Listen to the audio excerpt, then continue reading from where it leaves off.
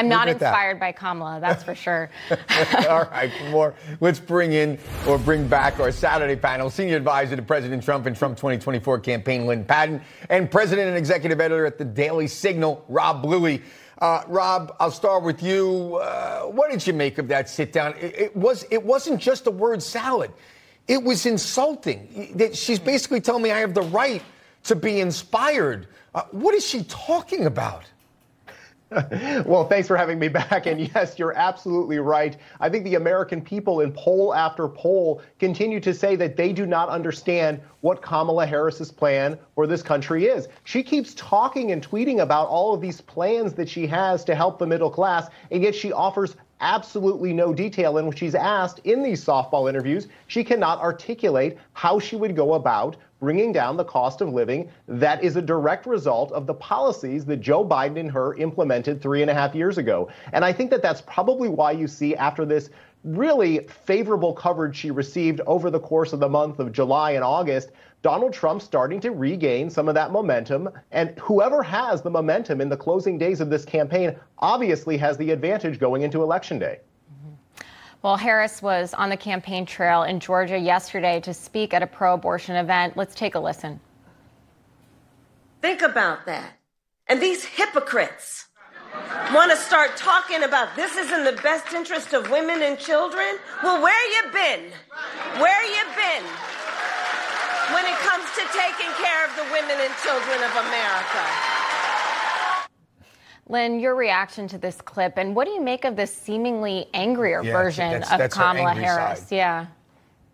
Well, it's no surprise that Kamala Harris was in Georgia, where a new poll shows uh, Donald J. Trump up three points. And, you know, they just voted uh, three to two to uh, demand hand count ballots on election day. So I think that's also going to throw a wrench in their plan to defeat my boss.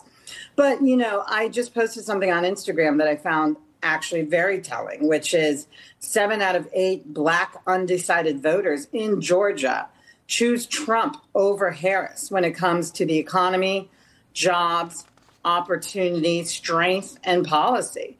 Uh, that's an extremely telling and very damning, uh, you know, sort of uh, verdict on her candidacy. And I think I agree with everything that Rob just said this is a woman who can't even sit down for interviews with softball questions. I, I call it actually T-ball with a beach ball. That's worse than softball. That's great. And, you know, she is the Seinfeld of candidates. Uh, she answers nothing with any specificity. Her answers are a response about nothing.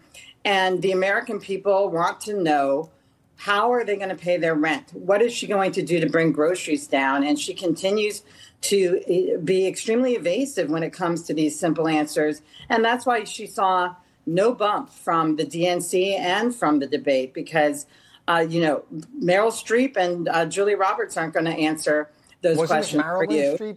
That's what she called the Maryland. exactly, exactly. And so, you know, and now she's got this new phrase called opportunity economy, right. which yeah. And I mean, whatever that even means. Well, I let me tell you what it means. It means that she had an opportunity for the last three and a half years to implement it, and she didn't. Touche, Michael. Touche. It should be called the lost, lost opportunity. Mm-hmm. Yes, she's taken economic uh, uh, opportunity and just reversed it. Is really what she's done. And and again, it's all foam, no beer. Yeah. Uh, when it comes to her.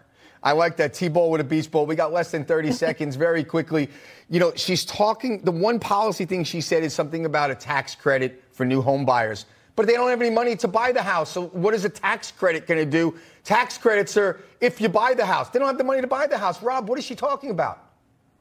yeah, we, it, your guess is as good as mine. I mean, and you, what you saw this week is the Federal Reserve doing its part to, yep. I think, aid the, the Harris uh, campaign by, by lowering interest rates. And so I don't think any of these policies that she's proposing are going to come to fruition. Uh, as you said, she's had three and a half years to get things done with Democrats in Congress, and she has been unable to do so. Uh, we are at a situation now where I think the American people are desperately pleading for a change in direction. They want to see the government stop spending so much money and contributing to this inflation crisis and get back to acting responsibly yep. so that they can pay their gas, groceries, and rent. And I bet you they want you, them to stop squandering money on illegal migrants uh, and put it into the services for American citizens. We have to leave it there. Lynne Patton, Rob Bluey, thank you so much for joining us. Thank, thank you. you.